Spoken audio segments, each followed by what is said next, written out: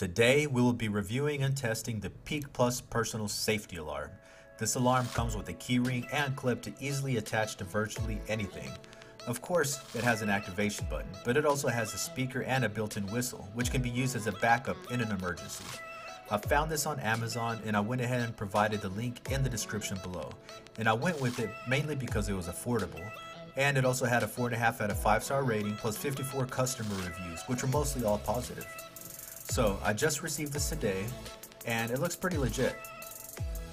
These are neatly packaged and the instructions are directly on the back.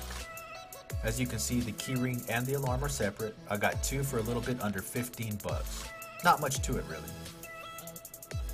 Now to attach these, basically just hold the clip button back, attach the alarm and that's it.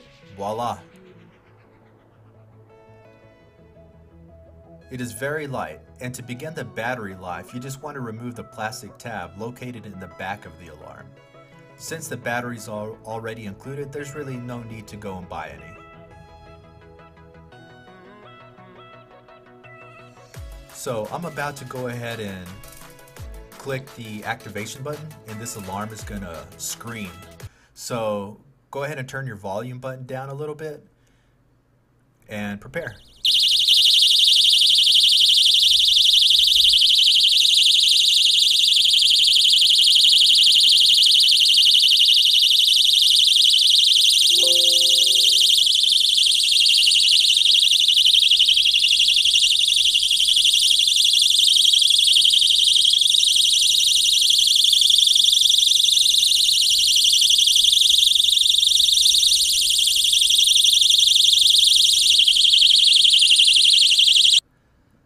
I guess I should have read the instructions first to know how to disable the alarm.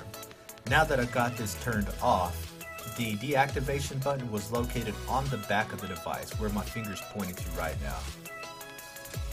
This has been a review of the PeakPlus personal alarm and if you'd like more information on it, please click on the link below and check out its reviews. As always, thanks for watching. Till next time.